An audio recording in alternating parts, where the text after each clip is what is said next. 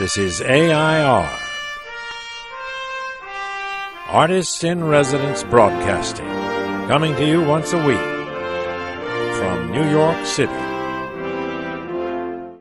Well, hello, I'm John Cullum, and this is my wife, Emily Frankel, and we're going to talk. I like talking with you. you do? Yeah, Well, well wh- because you're very knowledgeable. Oh, really? well, here's what I'd like to talk about.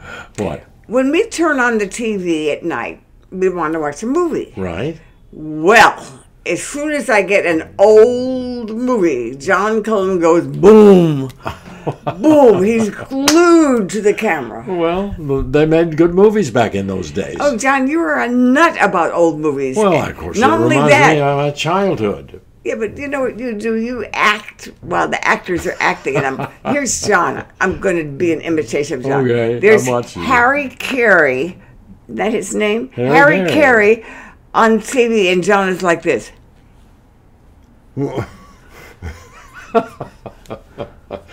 Well, that's pretty good, Emily. That's a pretty good imitation of John imitating the actor on on screen. So yeah. why do you love them so much? Well, I, I you know, all we were all brought up on on on movies. Harry Carey was a was a famous. Uh, uh, uh, He was the son of a famous actor. That's right. I, I knew that, uh, but I never knew anything that his father did. Except, and Harry Carey, um, I thought he was um, a cowboy. Um, but he was a do everything guy. Yes, I know. And. In the old movie that we were watching the other day, he was he played uh, uh, a white hunter, and Clark Gable played that. How many times did he do it? And who was the English actor who played in Solomon's Mines? And uh, uh, you know, Oh yeah. yeah, all those things can you can trace That right was the guy that Harry married Carey. Jean Simmons. That's right. That's right. John. Yes. then we watched Bob Hope and Paulette Goddard, and you were doing Bob Hope. I mean, Not as well as Bob. But you uh, are you are a very you are a very talented actor. I like you. I'm just You- an you might- imitator. you might I'm be able to earn a living as an actor. Yeah, I could fool people into thinking I'm somebody.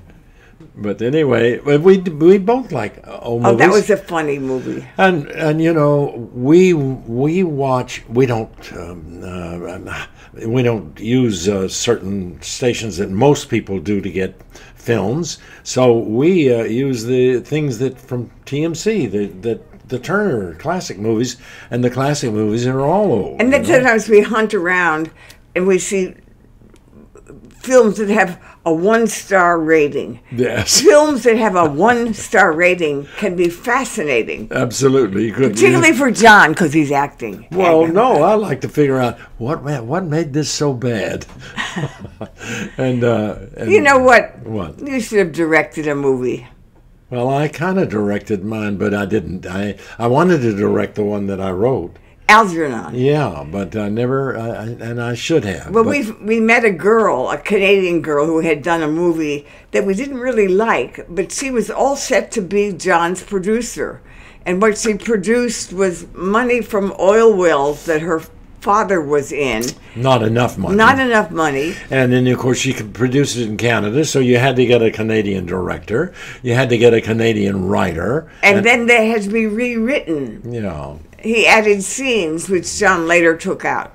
well, I must admit, I used one that was very good. And Charles Durning was in your movie. That's right. Charles almost walked out because it, the, it was a pretty crude production. We did the whole scene with Char- Charles, and and uh, the uh, they sent it to a, a cheap uh, editor, and it ruined the, the film, and we had to redo it. Do you remember that? You didn't know? Oh, I know, I know, I know, I know. It's just one one's own projects Yeah, are one's babies. that's right. How many years did I spend on ten? At least ten You years. longed, well, that's okay. That was a good, Sure good was. spending of one's time. Yeah, on yeah. your own movie. Yeah, and uh, um, And you wanted to do once a movie about my accident. You were going to do a movie about me recovering from my a, accident. a short. Uh, yes, I wanted to do that, and I, in fact, I wrote one. It was too. Um, well, um, we won't go too Well, much in that. this is a behind the scenes discussion of wonderful projects that have to do with movies, but we didn't do them. Right, and uh, So don't feel sorry. we don't we don't regret having thought about them. No, and don't feel sorry for us. It's like we used to go and, sh- and look at uh, boats and very expensive cars because it was fun to, to think about it, Think, but we like, never gee, if he- intended to buy them. Well, next time you have an idea for a movie, we will do it. I'm going to thank you for being John Cullum. Well, thank you, Thank Emily. you, John Cullum. Yeah, I'm. You can give me a kiss. you're my best advocate. Give Can you spare one? Mwah. Okay. you. So thank you for watching John explain why he loves old movies. Wasn't too good of an explanation, but I enjoyed telling Emily that. So we will see you next, Next week. This is AIR. See you next week.